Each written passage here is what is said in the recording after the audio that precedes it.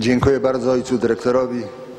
Jak Państwo widzicie, ogromne sukcesy w zakresie odnawialnych źródeł energii, ale tych uzyskiwanych z głębi ziemi. A więc to jest jeden z rekordów świata. Tyle ton gorącej wody o temperaturze kilkaset, a nawet ponad tysiąc z jednego otworu wydobywczego na jedną godzinę kilkaset ton minimum wody o temperaturze powyżej 60 stopni. Można sobie wyobrazić, ile trzeba by zużyć elektryczności, żeby podgrzać wodę w takiej ilości do takiej temperatury na jedną godzinę. To teraz zobaczcie Państwo, ile można tego ciepła odzyskać. Dziękuję bardzo Ojcu również za konsekwencje. Dziękuję bardzo. Szanowni Państwo, jak klaszczemy to mocno.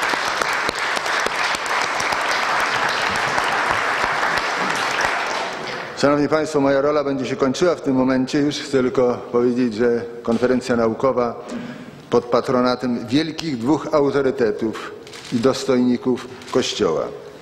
Jego eminencji księdza kardynała Zenona Gorcholewskiego, za co serdecznie, serdecznie dziękuję jako jeden z współorganizatorów.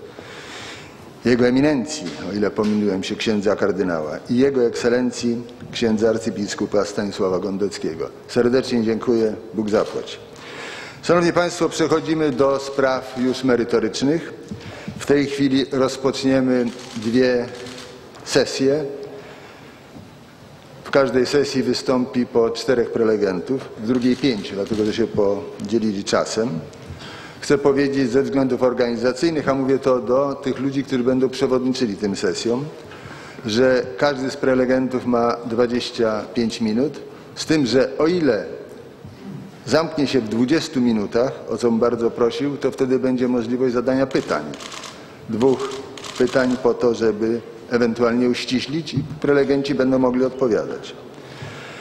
Również chciałem powiedzieć, że Komitet Organizacyjny po konsultacjach postanowił powołać również komisję wnioskową, czyli zespół wnioskowy i chciałem przedstawić te osoby, a mianowicie panią Katarzynę Cegielską z Wyższej Szkoły Kultury Społecznej i Medialnej. Zobaczcie Państwo, jest.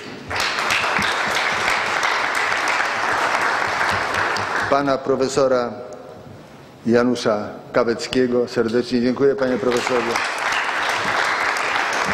I pana doktora Konrada Tomaszewskiego. W tej chwili, za chwilę ogłoszę trzy minuty